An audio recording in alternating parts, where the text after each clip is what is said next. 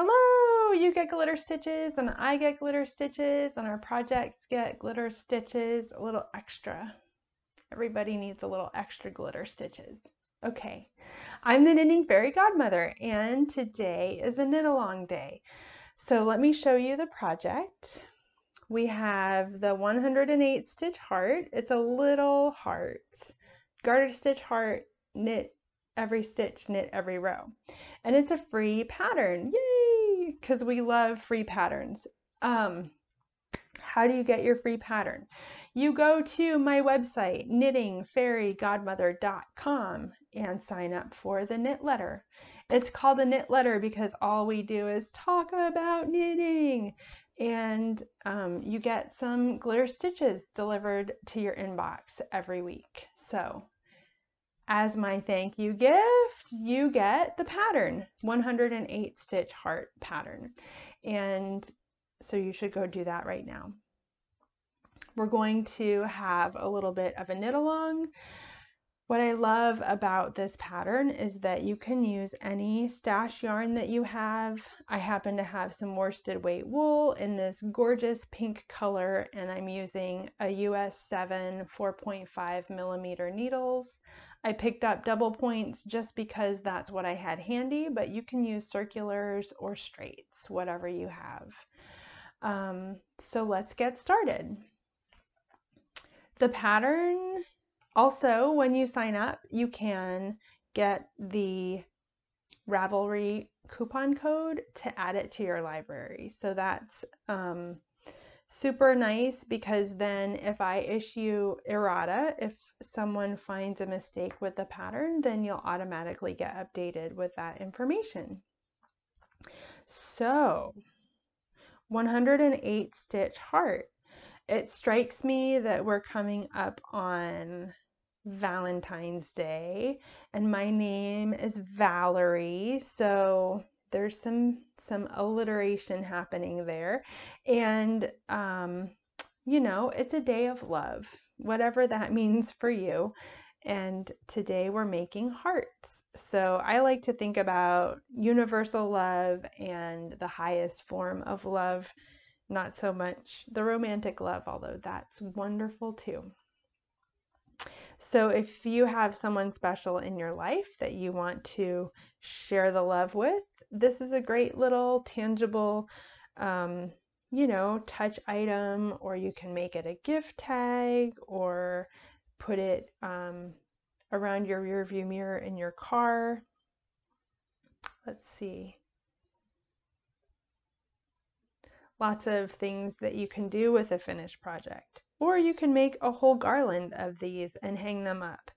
I like to just have the hearts around and sometimes I'll stick a heart somewhere on surprise like my coat pocket and then I won't wear that coat I mean, where I live now, it's cold because I'm in the northern hemisphere. But if I put the heart in my spring coat, then when I put my spring coat on, I have a little bit of, you know, that little surprise and delight, like I found a treasure in my pocket. So I like to sprinkle these throughout the house. And I have found them at very synchronistic times. It's a little bit like, uh, you know, setting up a surprise.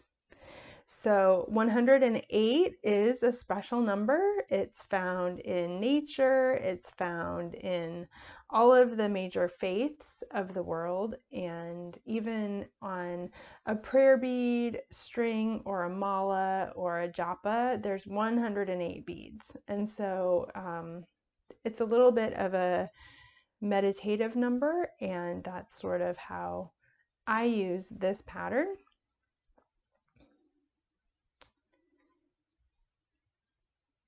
I make this pattern every single day, and it's something that gets me on my needles like a practice and it's something that I can finish quickly and easily and it's also something that I am using as part of my making mistakes um, practice.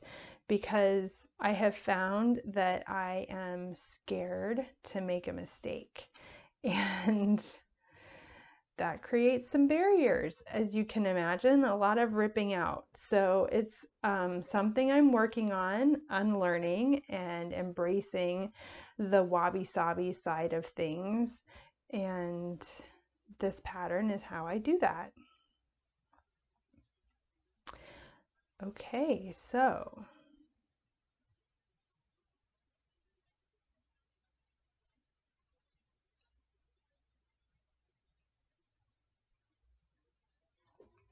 The pattern uses simple shaping. We use the front and back, knit front and back increase and the knit two together and SSK decrease.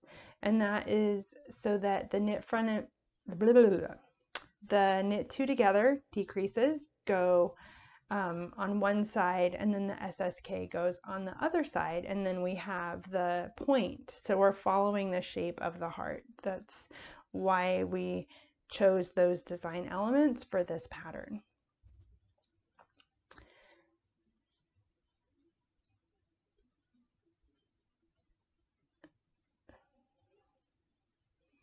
And I think that it's a unique construction. It starts in the valley of the top of the heart. So it starts in the valley and then we make the um, semicircle tops and then it comes down into the point.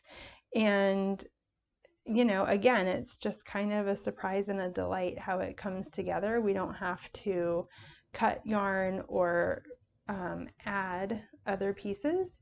And it's just one complete strand of yarn.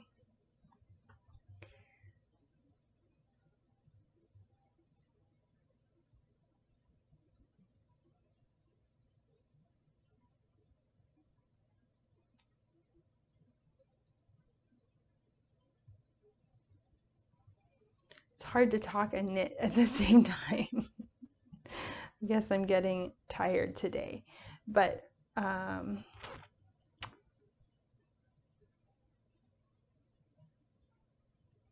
okay, so then we have the decrease here. All right, and now we are binding off. I tried to do a Bardot pony and it's a little lopsided. I feel lopsided.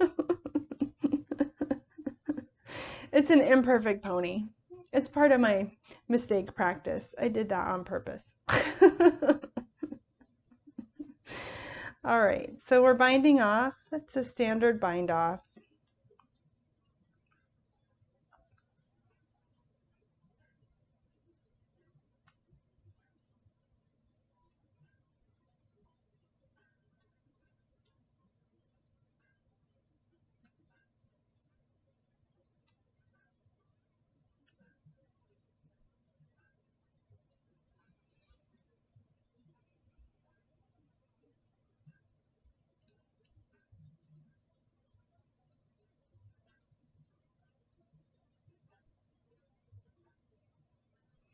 And on the last stitch. So I just bound off my last stitch. I have it on my needle. What I like to do, I learned this trick from Cat Bordhi, is pull the last stitch out and then I'm going to cut my tail from here. So I'm going to get your scissors, cut your tail, and now I'm pulling the working yarn out of that loop and there's a little less uh, bulk from doing a double um, bind off on that last stitch. And then here is my Happy Valentine's Day pink heart. So I hope you enjoyed the knit along and I can't wait to see you next week. And um, until we see each other again, keep knitting.